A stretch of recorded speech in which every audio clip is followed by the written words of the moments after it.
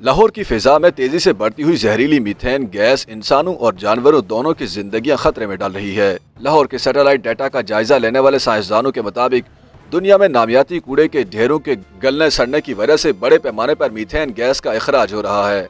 ये वो गैस है जो जमीनी दर्जा हरारत में इजाफे में भी बुनियादी किरदार अदा करती है। तहकीक के दौरान साइंसदानों ने दुनिया के तीन बड़े शहरों, लाहौर, दिल्ली और ब्योनस आयरिस के सैटेलाइट डेटा का जायजा लिया।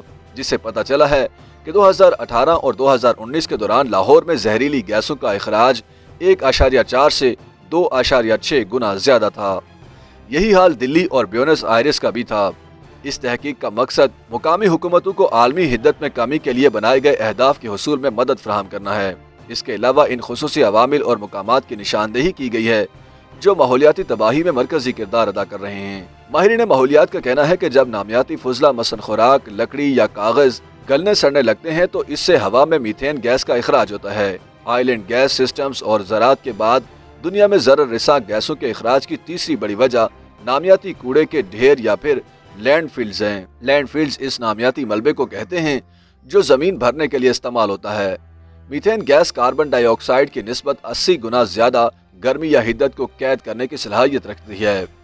ग्रीन हाउस गैसों में मीथेन का हिस्सा सिर्फ़ 11 फ़ीसद है और अखराज के बाद ये तकरीबन 12 साल तक फिजा में मौजूद रहती है। लेकिन मसला यह है कि हवा में ये गैस कार्बन डाइऑक्साइड की नस्बत 80 गुना ज़्यादा गर्मी या हिद्दत को कैद करने की सलाहियत रखती है। साइंसदानों के अंदाजों के मुताबिक, मौजूदा आलमी हिद्दत में 25 फ़ीसद किरदार उस मीथेन गैस का है जो इंसानों के अमाल का नतीजा है।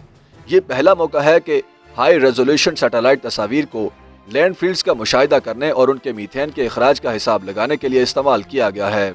इस दौरान ये मालूम हुआ है कि बहुत से नामियाती कूड़े के ढेर या लैंड फ़ील्ड शहर के साइज़ के मुकाबले में तो निस्बतन छोटे हैं, लेकिन उस मखसूस इलाके में खारिज होने वाली जरा रिसा गैसों के एक बड़े हिस्से के जिम्मेदार हैं। नई तहकीक से मालूम होता है कि लैंड फ़ील्ड या कूड़े के ढेरों का बेहतर इंतज़ाम किस कदर ज़रूरी है। पाकिस्तान और भारत जैसे ममालिक में तो खास तौर पर इस हवाले से इकदाम करना ज़रूरी है।